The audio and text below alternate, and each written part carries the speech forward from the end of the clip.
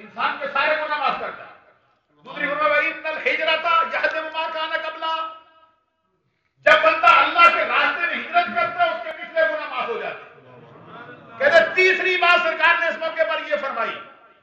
फरमाया अन्नल हज्जा यहदम मा काना कबलहू जो बंदा हज करता है अल्लाह ताला उसकी ज़िंदगी के तमाम गुनाहों पर माफ़ी का कलम उसके गुनाह मिट जाते हैं गुनाह भी बाकी नहीं रहते और हज़रत उम्मुल मोमिनीन आयशा सिद्दीका रज़ी अल्लाह ताला ने की मरवियात से हदीस है बुखारी में कि नबी अकरम सल्लल्लाहु अलैहि वसल्लम ने फरमाया मन हज लिल्लाह वलम यफुस वलम यफसुक कराजा फ़ी यौमिन वलदतु उम्मुहु जो बंदा अल्लाह के लिए हज करे और उसके अंदर औरतों की तरफ़ मशगूल ना हो औरतों की बातों में ना उतरे क्या मतलब है, माँ से बात ना करे? नहीं। क्या मतलब है, बेटी से बात ना करे? क्या मतलब है, बहन से बात ना करे? नहीं। मामला यह फरमाया हकूक के जोजियत की तरफ़ मायल ना हो। और उन बातों की तरफ़ रगबत ना करे। मन हज्जा लम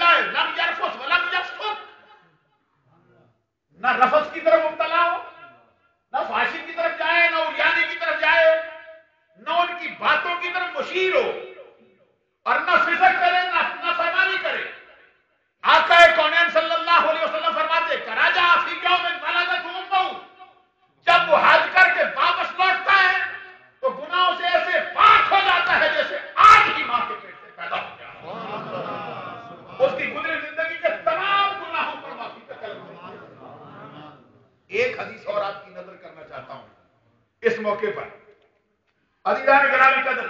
ये हदीस भी बड़ी सुनने से ताल्लुक रखती है।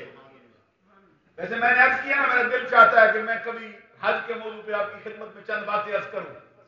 और ये आपका दिल है ना, पिघल जाए खुदा की कसम। ये हज की फजीलत सुन के बंदा जब पढ़ता है तो उसका दिल पास पास हो जाता है। और जिस हस्ती का तस्करा है आज,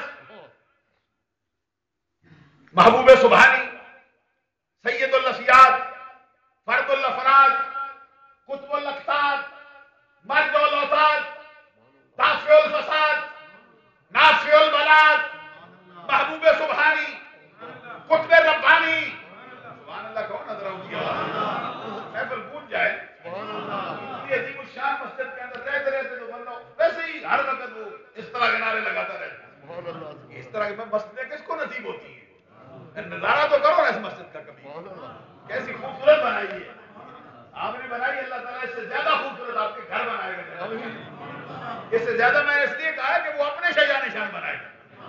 आपने तो अपने शजा निशान बनाई है वो अपने शजा निशान बनाएगा। हज़रत गौसे आज़म अब्दुल कादर जिलानी रज़ी अल्लाह ताला फरमाते हैं, हमारे घर का जो काम काज था, उसमें खेती बाड़ी का मसला था। आम सादात के खानदान से ताल्लुक रखते थे, लेकिन खेती बाड़ी इनका ये ज़रिया था, माश का। और माते मैं थोड़ी सी उम्र में अभी निकालता था ना अपनी, अभी गाजा नहीं पूछा था मेरे भगवान शबाब के अंदर मैंने कदम नहीं रखा। फरमाते कि मैं एक बैल को कहाँ करने लगा? तो बैल बोलने लगा। कहते, अब्दुल कादर जिलानी तुझे इस काम के लिए रब ने पैदा नहीं किया। पता चलता है जो रब के अपने बंदे होते हैं, उनको एक एक चीज़ खबर देती है इस बात की कि तुम्हारा ये मनसब नहीं, वो मनसब और है जो का दिया फरमाते मैं घबरा गया कि ये बैल भी बोलता है तो लौट के मैं अपनी अम्मा के पास आया। थोड़ी देर के लिए अम्मी की गोद में बैठा और फिर मैं अपने घर की छत पर चढ़ा कहते, वो वो दिल के अंदर ऐसी बात बैठ गई कि ये बैल ने बोला, ऐसी बात कह दी। मैंने अपनी अम्मी से कही फरमाते फिर मैं घर की छत पे चढ़ा अब चढ़ा था छत पे तो देखता क्या हूँ कि अरफात का मैदान मेरे सामने अरफात का सारा मैदान खुला हुआ मेरे सामने कहते मैंने हाजियों के वहाँ पे अरफात में हाजिरी का सारा मंजर अपनी आँखों से देखा है बंदा जन्म की सदर इसी हज़रत अब्दुल्ला बिन उमर रज़ी अल्लाह ताला फारूक आज़म की बेटे। वो फरमाते हैं कि मैं मस्जिद मना में नबी अकरम सल्लल्लाहु अलैहि वसल्लम के पास बैठा। कहते कि दो सहाबी बार का मुस्तफ़ा में आए। एक अंसारी कबीले से ताल्लुक रखता था, एक सख्ती कबीले से ताल्लुक रखता आमतौर पर ये ख्याल पाए जाते हैं ना, भाई, मदीने के सारे लोग अंसारी हैं। ये मतलब नहीं ये सकफी कबीला भी मदीने का है। अंसारी खास लोगों का नाम है सबका नहीं। दो कबीले हैं जो मशहूर औस खदरत औस खदरत का इस्लामी लकब है अंसार। ये अंसारी कबीले हज़रत अब्दुल्ला कहते दो बंदे आए एक अंसारी एक सखनी मैं सरकार की बारगाह में बैठा था आगे कहते सरकार हम आपसे कुछ पूछने आए अगर इजाज़त हो तो सवाल करें। अब सुनो फिर अपने आका की बात। जवाब में नबी अकरम सल्लल्लाहु अलैहि वसल्लम फरमाते हैं उनके उनके सवाल करने से पहले सरकार फरमाते अगर तुम कहो जो तुम पूछने आए हो मैं बताऊँ? ये बात छोटी सुबह अल्लाह कहने वाली सरकार फरमाते तुम कहो तो मैं सुनाऊं तुम्हारे सीने में क्या है? तुम कहो तो मैं बताऊँ क्या पूछने आए हो?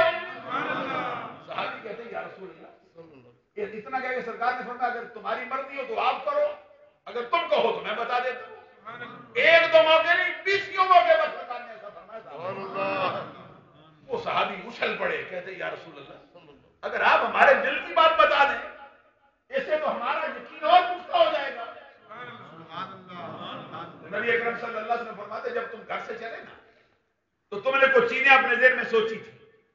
सरकार वो क्या थी? फरमाया तुमने दिल के अंदर ये ख्याल किया कि जब हम खाने काबे का हज करने के लिए जाते जिस सवारी पर बैठकर हज के लिए चलते वो जो कदम उठाती है उसमें क्या है वो जो कदम रखती है उसमें क्या है जब खाना काबा का तबाफ करके मकान इब्राहिम पे नफल पड़ते उन नफलों के अंदर हमारे लिए क्या है सफ़ा मरबा की सही करते उसमें क्या है उसके बाद मैदान अरफात में हाजिरी देते उसमें क्या है उसके बाद रंगी जमार करते उसमें क्या है उसके बाद हम कुर्बानी करते उसमें क्या है उसके बाद हम दोबारा लौट के तमाशे ज्यारत के लिए आते उसमें क्या है वाकई कौन सल्लल्लाहु ने इतना फरमाया तो सहाबी उछल पड़े कहते या रसूल अल्लाह अल्लाह की कसम जिसने आपको हक के साथ मबूस किया है न इससे ज़्यादा ख्याल आया है न इससे कम ख्याल आया है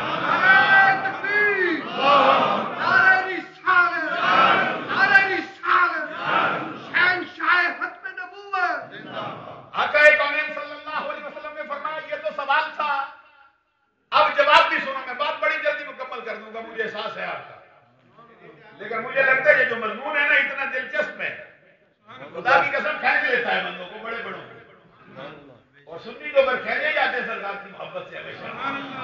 जिनके सीने इसके मुस्तफ़ा से भरे रहते हैं। अब सुनो आका